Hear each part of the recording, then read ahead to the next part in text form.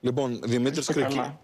Δημήτρης Κρικέλας είναι έτοιμος; Σε λιγάκι θα τον έχουμε τον Δημήτρη Κρικέλα, ε, γιατί φεύγει ένας C130 από εδώ, το οποίο θα βρίσκεται μεταξύ Κύπρου Για να μεταξύ παραλάβει. Κύπρου συνδρομή, βεβαίως, γιατί υπάρχουν περίπου 3.500 Έλληνες στη Βηρητό με ελληνικό διαβατήριο. Ε, βέβαια. Υπάρχουν και πάρα πολλοί Έλληνες στο Ισραήλ, θέλω να σας πω, όπως η περίπτωση που βλέπουμε τώρα.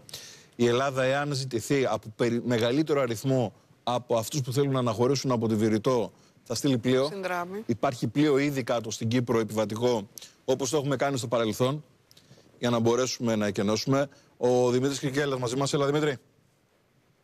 Ναι, αυτό το οποίο στην παρούσα φάση μπορούμε να μεταδώσουμε είναι ότι βρίσκεται σε εξέλιξη μία επιχείρηση για τον ε, απεγκλωβισμό Ελλήνων αλλά και Κυπρίων πολιτών ε, οι οποίοι ζήτησαν να απομακρυνθούν ε, από τον ε, Λίβανο.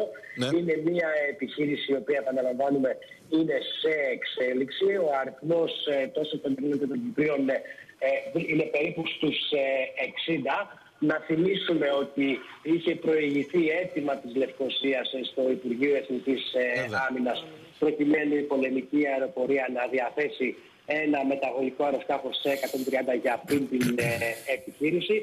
Όπως επίσης προκειμένου να φτάσουμε στη σημερινή ημέρα έχει προηγηθεί και μια συνεννόηση της ε, Αθήνας όσο με την ε, Λευκοσία όσο και με το Ισραήλ αλλά και με τις τοπικές αρχές ε, του Λιβάνου προκειμένου αυτή η επιχείρηση να καταστεί δυνατή. Μιλάμε πάντα για τις Ναι. συνθήκες οι οποίες θα εξασφαλίσουν ότι θα έρθει σε πέρας και η- το ΣΕΚΑ Είναι μια πολύ δύσκολη επιχείρηση, με Ακριβώς. δεδομένο ότι Είναι πέφτουν βόμβες εκεί. Δεν είναι απλά πράγματα. Ακριβώς. Έτσι. Είναι μια πολύ δύσκολη επιχείρηση, οπότε αυτό το οποίο μπορούμε να μεταφέρουμε αυτή τη στιγμή είναι ότι είναι σε εξέλιξη και περισσότερο θα έχουμε με την επιστροφή και με την ολοκλήρωσή της.